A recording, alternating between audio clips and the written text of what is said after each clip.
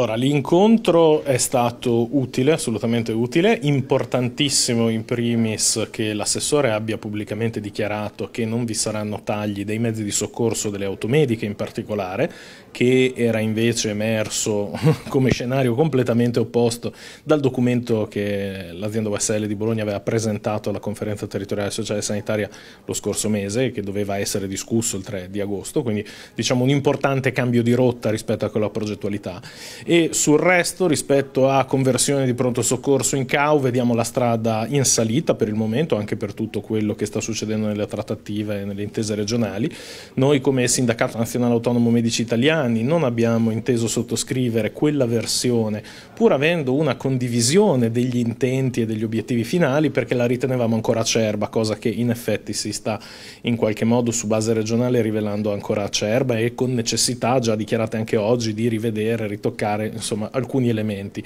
Noi eravamo convinti che fosse necessario dall'inizio e ne siamo ancora più convinti oggi. Eh, riteniamo che sia difficile pensare a un ospedale per acuti senza un pronto soccorso, quindi che se le dichiarazioni sono di voler mantenere Vergato come per acuti, eh, come ospedale per acuti eh, sotto debba esserci necessariamente all'ingresso un pronto soccorso, eventualmente anche con una fase di affiancamento, se ci dovranno essere delle evoluzioni in cui introdurre eh, modello del CAO, insomma, se, se necessario. Noi siamo sempre però dell'idea che siano necessari alcuni modifiche alcune modifiche degli impianti normativi, in particolare per le incompatibilità dei medici e per i modelli di organizzazione del lavoro. Oggi la popolazione medica, soprattutto quella giovane, ha delle necessità diverse da quelle che avevano i medici di 20 anni fa o di 10 anni fa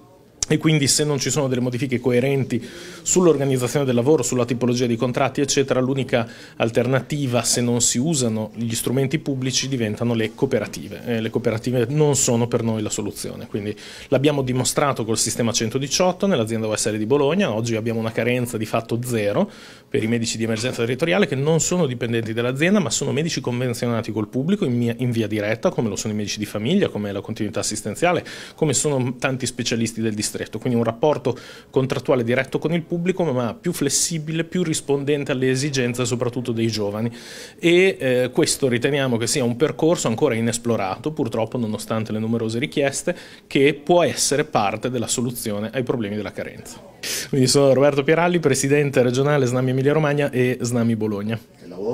Al 118, eh, sono medico dell'emergenza, lavoro al 118 da Bologna da più di dieci anni.